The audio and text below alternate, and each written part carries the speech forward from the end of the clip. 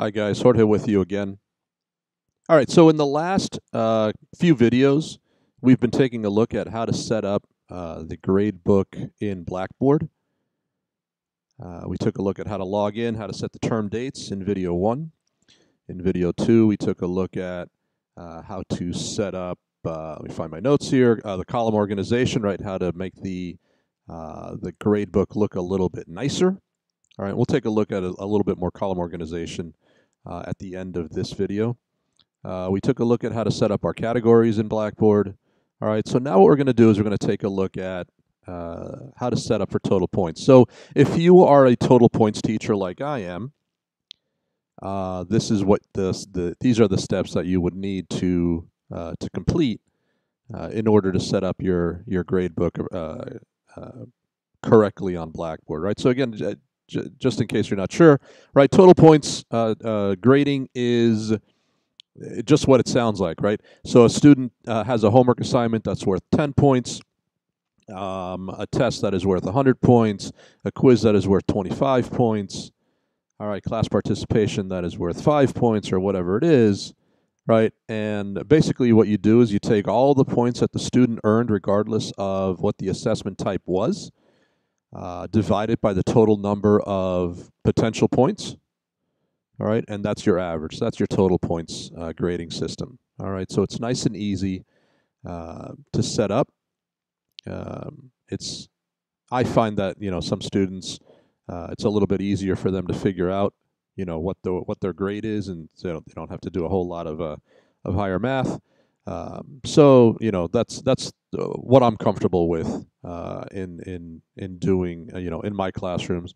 Um, you know, not to not to deride the uh, the weighted averages teachers or anything like that. You guys have your own systems, all right. So uh, and it works for you. So you know, whichever way it works is fine. Uh, but this discussion is the total points discussion.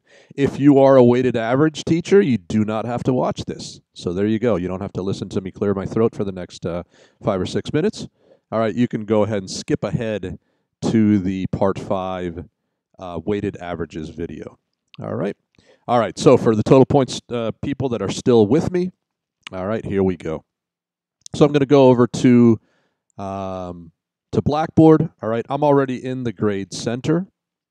All right, so basically the way that total points works in Blackboard, and I haven't really figured out a way around this, is we really need two columns uh, to figure out a total points uh, grading system. All right, so we need to create the first column, which is the total points for the quarter. How many total points did the student earn? You know, out of a potential, you know, number of, of points, obviously. And then what's what is that average? Okay, so we're going to create two columns here. All right, so the first thing that we're going to do is we're going to go over to create a calculated column. So I mouse over that. And what I don't want to do is I want to create a total column. So I click on total column. Okay, and then what is my column name? All right, so my column name is going to be just that. All right, so, um, you know, first quarter, all right, uh, total points. Okay. I don't need to give it, you know, a description or anything like that. The primary display is going to be score. So we take a look at the different score types. All right. We are a percentage school. All right, we're not a letter, a letter a school or a uh, complete incomplete school. All right, so um, so the only two primary displays that we will use is either score or percentage. Because this is a total points column, uh, it needs to be score. Okay. Don't worry about secondary display. The grading period, what's this, you know, which grading period is this for? It's going to be for the first quarter. So we're going to select the first quarter grading period. Okay. And then in select columns, all right, the grades that we want to appear, all right, in this column is all the grade columns in grade period first quarter. Okay. So that's that's basically it. We do want to calculate this as a running total. In other words, we want to uh, this column is going to be updated every time that a new grade gets uh, gets put in. A new grade column gets put into uh, Blackboard. Okay. And then in terms of options, we do want the grade column in, in the grade uh, center calculations, right? We do want to show this column to students, you, you know, which is a good idea. I always I always leave that uh, set up to yes so that they can see how many points they've earned. Okay, they don't have to necessarily do the math. All right, and then I do not want to show my students what the averages are for this, uh, you know, for this column. In other words, you know, their grade is their grade. They don't need to know, uh, you know, where, you know, some of the other students might be in terms of averages and, and that sort of thing. All right, so I leave these options as uh, set to default. So I'm going to go ahead and click submit at this point. All right, and in my uh, gradebook, now you can see that I have a first quarter total points uh, column all set up. All right.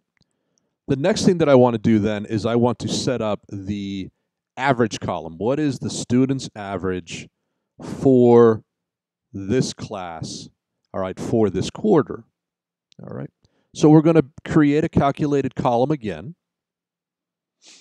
And I'm going to set up an average column this time. So I click on average column. What's my title going to be? First, right, quarter, grade, average, you know, whatever you want to call it. Grade percentage, you know, whatever you want to call the column, that, that's up to you. All right, again, I don't need a description. The primary display is a percentage. This time it is a percentage. Okay. The dates, the grading period is still first quarter. What columns are going to be in this grade? Okay, so now uh, what we need to do here is we need to select columns and categories. Okay, the reason why we set up that first quarter total points column before is so that we have a summary of all of the points that that student has earned for the quarter. So I'm going to base my average calculation on that column. All right, so again, what we do is we click on selected columns and categories, and then columns to select up in the top section up here, I'm going to select first quarter total points. Okay, so make sure that that is highlighted. And then I'm going to hit this single arrow over here to move that column over to the right. Okay, so you can see that the column to select is no longer here. It is now here. Okay. Calculate as a running total. Yes, I want this grade to update every time that any changes to the gradebook are made. And then the options are going to be the same. Include this column in Grade Center calculations, yes. Show this column to students, yes. I do not want my students uh, to see the class averages or any of that stuff. And I'm going to click submit. Okay, so now in my gradebook, I have the two calculated columns that I created, my first quarter total points and my first quarter grade. All right, so usually what I do at this point is I go in and I rearrange the columns so that the first column after last access is their grade, is their average. All right, so what I'm going to do here is I'm going to go to Manage, and I want Column Organization. All right, so Manage, Column Organization takes me to this screen. Okay. In a previous video, all right, you, uh, we were talking about um, you know, reorganizing the uh, the the views in uh, the grade center. Okay, you can see that the columns that we hid, username, student ID, and availability, are still here. They're just hidden. All right, so if I ever need for the grade book to show the student ID, you know, I can always just, you know, unhide it. Okay. Uh, if I want my gradebook to have the student's first name first, right, I could rearrange uh, these columns here. Okay, how they, you know, what the view is. To, to move a column, all you need to do is um, is uh, uh, place your mouse over the uh, the bullseye there, the little uh, cross hatches there. All right, uh, click and drag to whatever position you want it to be, right? So here I have it now set up as first name, last name. Okay, I'm a last name, first name kind of guy, so I'm going to go ahead and put that back. Okay.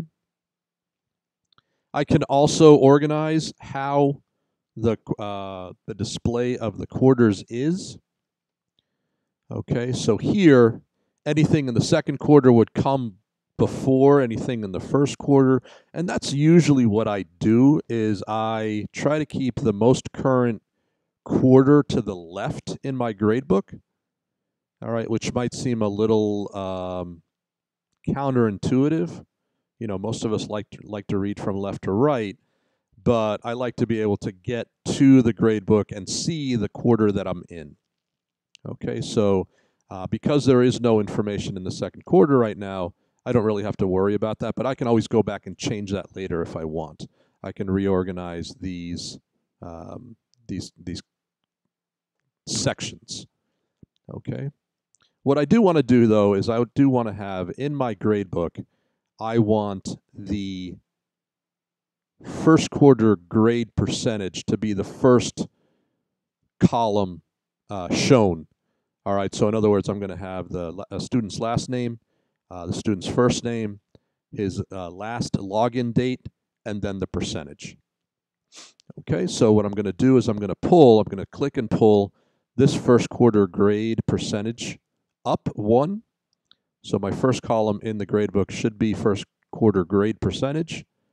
And then the second column in my gradebook should be first quarter total points. Okay. Not in a grading period. We'll talk about that uh, later all right, as um, it's a good idea to come into the column organization view every once in a while because sometimes what will happen is that you'll you'll put an assignment in Blackboard, but uh, for one reason or another, Blackboard will not assign that assessment to any particular quarter. So we uh, it is in this screen that we would then Okay, sorry for the interruption there. So, as I was saying, it is in this screen that we would then select the assessments that we want, and then we would click on Change Grading Period 2 uh, and, uh, and, and, and, place it in wh whichever uh, quarter it belongs. All right, so in terms of our column organization, right, so we're done with that. We're going to go ahead and submit, and we're going to go take a look at our changes. All right, so here we go. All right, here is my um, grade book as it appears right now, right?